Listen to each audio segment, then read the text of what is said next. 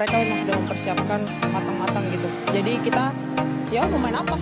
Jadi kayak gitu. Jadi memang udah siap semuanya dari defense dan serangannya mereka lagi rapet banget.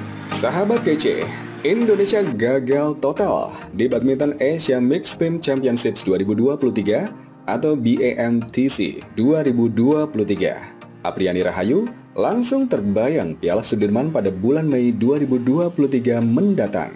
Apriani Rahayu dan kawan-kawan harus kandas di tangan Korea Selatan pada babak perempat final ajang bergu badminton Asia Mixed Team Championships 2023 pada Jumat 17 Februari. Bermain di Dubai Exhibition Center, skuad Indonesia awalnya menang lewat tunggal putra Ciko Aura Dwi Wardoyo, namun setelah itu merah putih, kalah tiga kali. Kekalahan itu diraih oleh Putri Kusuma Wardani di tunggal putri, Fajar Alfian Muhammad Rian Ardianto di ganda putra, serta ganda putri Apriani Rahayu dan Siti Fadia Silva Ramadanti.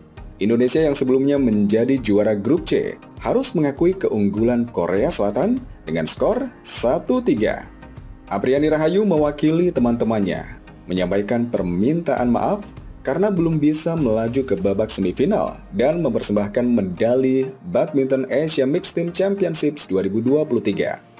Sang kapten tim Indonesia itu juga mengaku kecewa saat akhirnya ia dan Fadia tumbang di tangan baik Hana Lee Sohee dua set langsung dengan skor yang cukup jauh yakni 14-21 dan 9-21. Kami mohon maaf belum bisa memberikan hasil terbaik. Tentu, saya dan Fadia kecewa. Kami gagal bermain baik dan menang. Kata Apiani selepas pertandingan.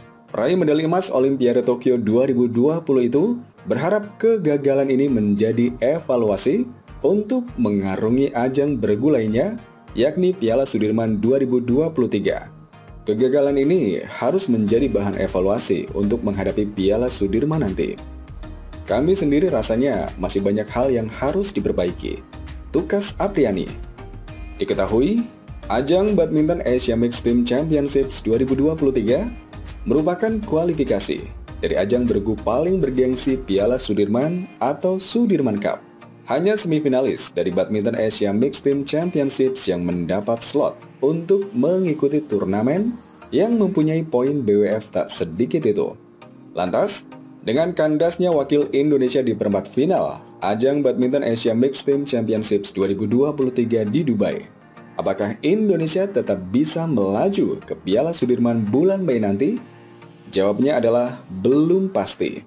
Piala Sudirman sendiri mempunyai kuota 16 peserta. Jumlah kuota Asia sama dengan Eropa, yakni 4 negara. Sedangkan negara bagian Amerika, Oceania, dan Afrika hanya mendapat kuota satu saja. Selain yang telah dijatakan kuota tersisa untuk tuan rumah, juara bertahan, dan juga dialokasikan berdasarkan ranking negara.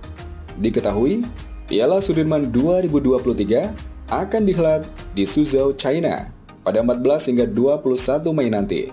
Itu artinya Indonesia tidak mendapatkan jatah sebagai tuan rumah. Hingga dengan ketentuan tersebut, maka Indonesia kini masih belum bisa dipastikan dapat ikut Piala Sudirman 2023 atau tidak.